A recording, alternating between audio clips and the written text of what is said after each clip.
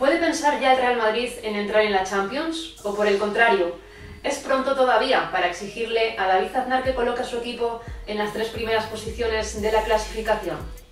Esas son dos preguntas que nos han acompañado desde el momento en que el Real Madrid confirmó la confección de su plantilla para esta temporada 2020-2021. La ilusión se disparó con la incorporación de nueve jugadoras nuevas. Misa Rodríguez, Marta Corredera, Kenty Robles, Iván Andrés, Claudia Florentino, Maite Oroz, Teresa Belleira, Olga Carmona y Marta Cardona. Surge ahora una duda, ¿de qué será capaz el Real Madrid en su primer año? Así que es un buen momento para analizar cuáles son las aspiraciones de este Real Madrid. Por lo visto en las tres primeras jornadas se amplía el abanico de equipos candidatos a disputar la próxima edición de la Champions League. La primera Iberdrola, a diferencia de temporadas anteriores, tendrá tres plazas para sus tres mejores equipos. A priori, el Barcelona, el Atlético de Madrid y el Levante parten como principales candidatos a repartirse esas tres posiciones si tenemos en cuenta que fueron los tres mejores conjuntos del curso anterior. Pero sabemos ya que el Athletic Club de Bilbao y la Real Sociedad, por ejemplo, tienen una buena base para intentar meterse también ahí arriba. El Real Madrid está en estos momentos por detrás de todos ellos, con cuatro puntos en tres jornadas. Empezó perdiendo por 0-4 el nuevo clásico ante el Fútbol Club Barcelona. Después empató en el campo del Valencia y en la tercera jornada llegó su primera victoria ante el Rayo Vallecano por 3-1 en la ciudad deportiva del Real Madrid. Ahí vimos detalles que pueden relanzar el optimismo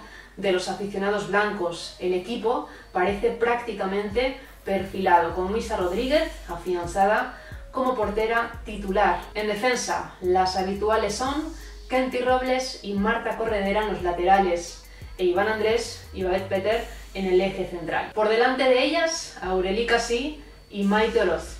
Y en la delantera, Marta Cardona y Kosovar Aslani, titulares en los tres partidos disputados hasta la fecha. Sofía Jacobson lo fue únicamente en dos, mientras que Tera Belleira, Ola Carmona, Lorena Navarro y Jessica Martínez fueron entrando en ese carrusel de rotaciones. La paraguaya aprovechó muy bien sus minutos para marcar uno de los tres goles ante el Rayo Vallecano. Los otros tantos del Real Madrid fueron obra de Maite Oroz y de Aslani, la máxima realizadora del conjunto hasta ahora, con dos dianas. Una de las grandes noticias es el buen entendimiento de la sueca con Kenty Robles. También es destacable la profundidad que ofrece Marta Cardona, la jerarquía de Aureli Casi y el protagonismo que está asumiendo Maite Oroz en el centro del campo. En su conjunto hablamos también de una plantilla más compensada con respecto a la que tenía el Club Deportivo Tacón. Esos son algunos de los brotes verdes de este Real Madrid, que como todo nuevo proyecto necesita tiempo para encajar las piezas de su puzzle y sobre todo, además de tiempo, lo que necesita son triunfos. Esta temporada va a ser fundamental para esos equipos que persiguen la clasificación europea no dejarse puntos ante rivales teóricamente más débiles y sobre todo acertar en esos duelos directos que están por llegar. Van a ser claves los resultados de esos choques que el Atlético de Madrid, el Levante, el Atlético de Bilbao, la Real Sociedad y el propio Real Madrid jugarán entre ellos. Eso pues si damos por hecho que una de las tres primeras posiciones probablemente va a ser para el Fútbol Club Barcelona. De momento, el equipo azulgrana es el único que mantiene el pleno de victorias después de tres jornadas, con datos que son además abrumadores. Ha conseguido en esos partidos 16 goles a favor y ninguno en contra. Esto quiere decir que anota una media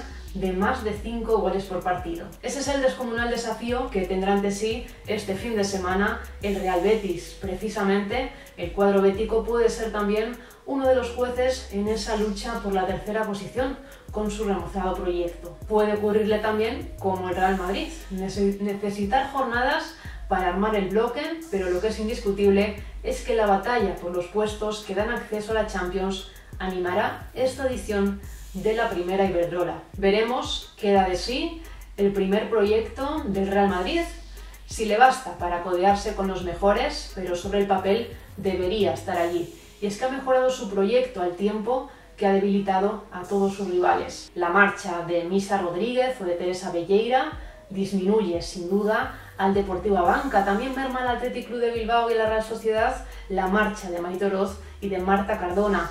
Al Atlético de Madrid le hubiese gustado seguir contando con Kenty Robles y al Levante con Marta Corredera y con Iván Andrés. Todas ellas prefirieron al Real Madrid y su proyecto pensado para mejorar la décima plaza del Club Deportivo Tacón. Ya en su primera temporada, el Real Madrid sueña con la Liga de Campeones.